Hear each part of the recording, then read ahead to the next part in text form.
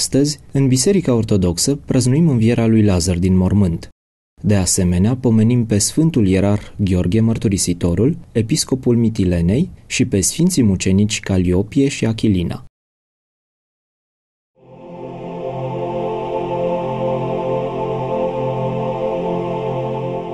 Sfântul Apostol și Evanghelist Ioan relatează în Evanghelia sa, capitolul 11, despre una dintre cele mai cunoscute minuni care s-au petrecut cu puțin timp înainte de pătimirile Domnului.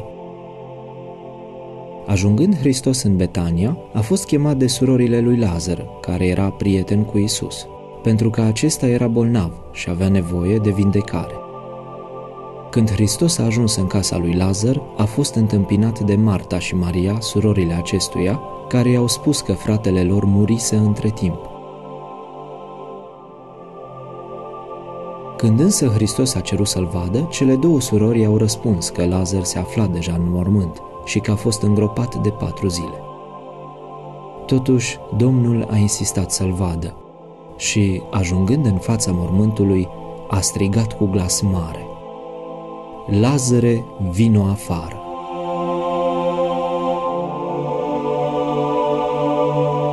Textul Evangheliei ne spune că mortul era legat în giulgiu, iar Hristos le-a spus să-l dezlege.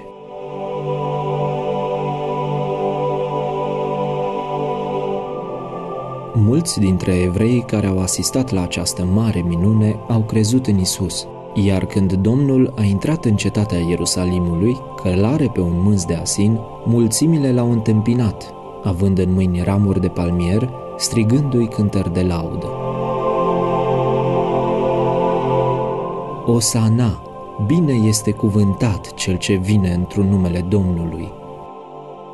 Osana fiului David, împăratul lui Israel.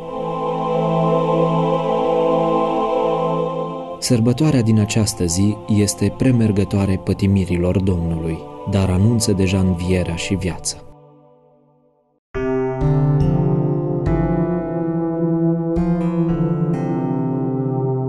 Tot în această zi facem pomenirea Sfântului Ierarh Gheorghe Mărturisitorul, episcopul Mitilenei. Sfântul Gheorghe Mărturisitorul a trăit în cetatea Mitilenei pe insula Lesbos în timpul împăratului iconoclast Leon Armeanul.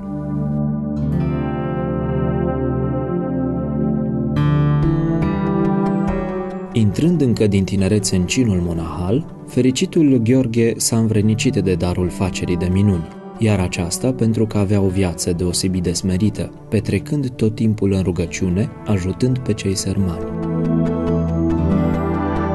De îndată ce Leon Armeanul a reînceput lupta împotriva Sfintelor Icoane, cunoscută și sub numele de cea de-a doua persecuție iconoclastă, Sfântul Gheorghe Mărturisitorul, care între timp a fost ales episcop al cetății Mitilenei, a fost izgonit din scaunul episcopal.